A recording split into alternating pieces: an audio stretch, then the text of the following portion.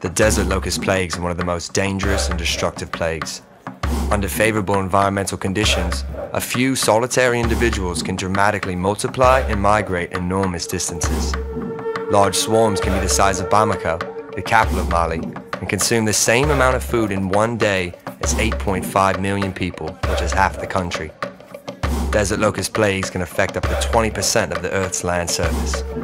One of the core mandates of the organization is to monitor the uh, desert locust situation on a global scale. We monitor the weather, the ecological conditions, and the locust situation in about 50 different countries.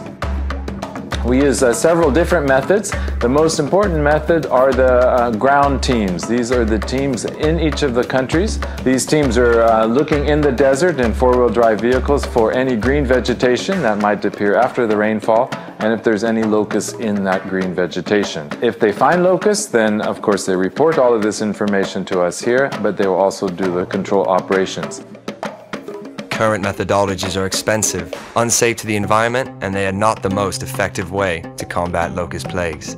We want to make this a bit more efficient. So the idea is to incorporate drones to help the teams find those areas in the desert where it may be green. A fleet of high technology drones will be equipped with HD visual sensors, thermal cameras and control systems in order to find, analyze and spray the locusts.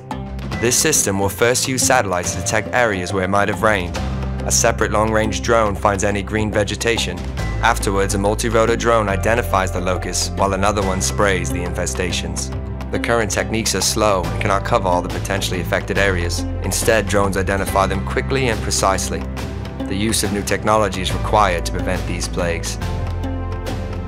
It's an amazing challenge because teams from each country that are uh, fighting against desert locust on the field, they will have to fly with the drone, they will have to acquire information and then process this information on the field without internet connection. So the challenge is clear. We'll have to provide them a solution to process all this information. And this would be very desirable because it would take the danger of using pesticides out of the human hands and into the drone. So this would be much safer for the applicators and the people involved in control operations. We hope that it would, uh, use of drones would make the monitoring of the locusts, which is so important for early warning, to be much more efficient and uh, much more effective. With this system, we hope to increase the efficiency, precision and effectiveness of locust detection and control, while at the same time protecting agriculture the environment, and people's livelihoods.